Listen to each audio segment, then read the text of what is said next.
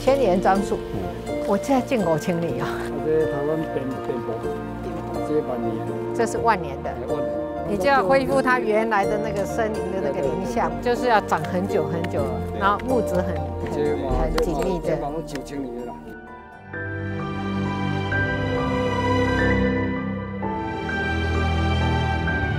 赖上，真的听过你好多故事呢。哦，你看起来好年轻，你们看起来像兄弟耶。哇，那家中种呃几公顷？啊，拢种十座山，啊，叫上十座山。每一年给你看。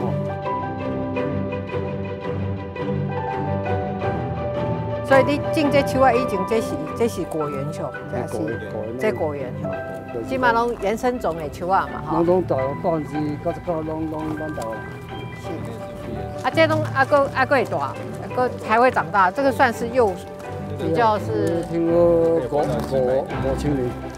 我现在进五千年啊。这个三十年，这个两百年，这个五千年，这个。这个啊。这这一支还有很长的路要走呢。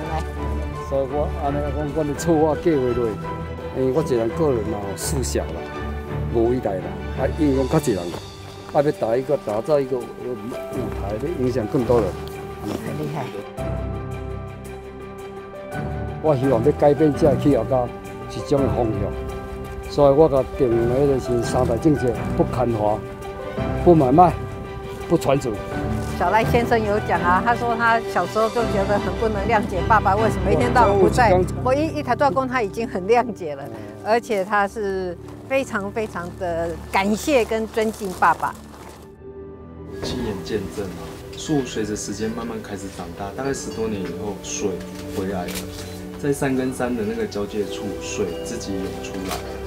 那水回来了，森林是水的故乡，水是生命之源，开始一些浮游生物，哦，鸟类、爬虫类等等，生态变得越来越丰富。山从原原本的黄色变绿色哦。然后黄色的时候没有声音，没有鸟，好，没有生态，没有生命，连吹来的风都是热的。可是你看我们现在就在这里，嗯，这么舒服，然后又有这么好的空气，原因只有一个，种树。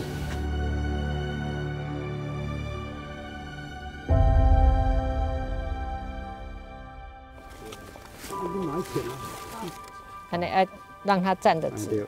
好的，长会会的。会了，是吧？哎，开刚开有滴。